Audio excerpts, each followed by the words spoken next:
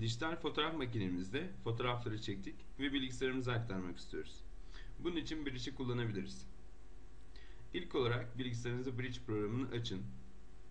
Daha sonra fotoğraf makinenizin kapalı olduğundan emin olduğunuzda aktarım kablosunu doğru bir şekilde bir ucunu fotoğraf makinenize, diğer ucunu da bilgisayarınıza takın. Aktarım kablosu takım işlemleri bittikten sonra artık fotoğraf makinemizi açabiliriz. Aktarım için Bridge'de kullanacağımız uygulama fotoğrafları kameradan al. Bu işlemi yapan bir penceremiz var. Bunu açabilmek için dosya üst menüsünden fotoğrafları kameradan al menü yolunu kullanabilirsiniz.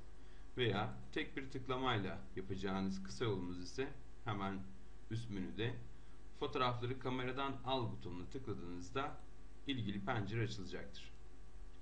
Pencere açıldığında ilk olarak yapacağımız işlemlerden bir tanesi sol alt köşede bulunan gelişmiş iletişim kutusunu butonuna bir kere tıklayarak buradaki arayüzü genişletmek.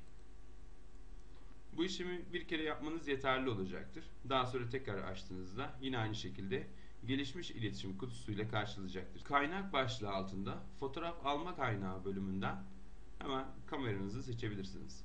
Bu esnada fotoğraf makinenize bağlanacak ve içerisindeki fotoğrafları temsili olarak gösterecektir.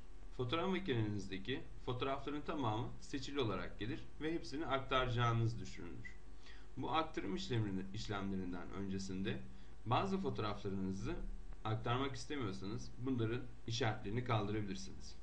Alt tarafta bulunan tüm işaretleri kaldır butonuyla görünen fotoğraflarda bütün işaretleri kaldırır. Sadece birkaçını da bilgisayarınıza aktarabilirsiniz. Şu an ben hepsini seçili halde bırakıyorum. Ve sağ tarafta kaydetme seçenekleri başlığı altını incelemeye devam edeceğiz. Kaydetme seçenekleri fotoğraf makinenizdeki fotoğrafları nereye kaydedeceğinizi, nasıl bir isimlendirme kullanacağınızı belirlediğimiz alandır. Konum başlığı altında fotoğrafları yükleyeceğiniz ana klasörü belirtiyoruz. Burada göz at butonuna tıklıyorum ve açılan pencereden desktop'ı seçerek yani masaüstümü seçerek burada bir klasör oluşturabilirim. Burada var olan bir klasörü de seçebilirim. Fotoğraflar klasörünü seçip Select Folder butonuna basarak işleme devam ediyorum. Alt klasörler oluştur başlığı altında makinedeki fotoğrafları bilgisayarıma aktarırken nasıl bir dosyalama sistemi kullanmam gerektiğini soruyor bana. Ben de çekim tarihi uygun olabilir. Yok dersem az önce seçmiş olduğunuz fotoğraflar klasörünün direkt içerisine aktarabilir. Özel bir isim verebilirim oluşturacağım klasör içine.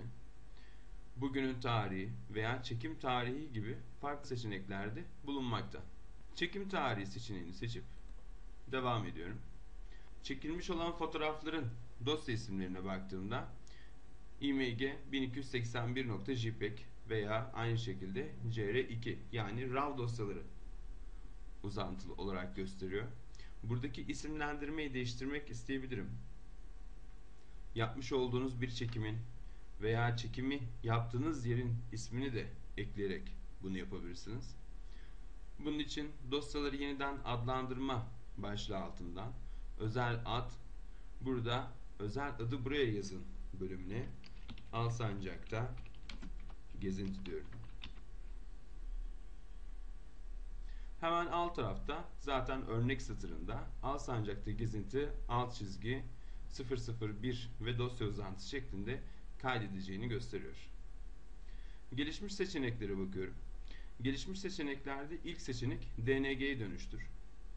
Dijital fotoğrafçılık kitabımızda dosya formatları bölümünde de anlattığımız Adobe'un çıkarmış olduğu dijital negatif dosya tipini dönüştürür.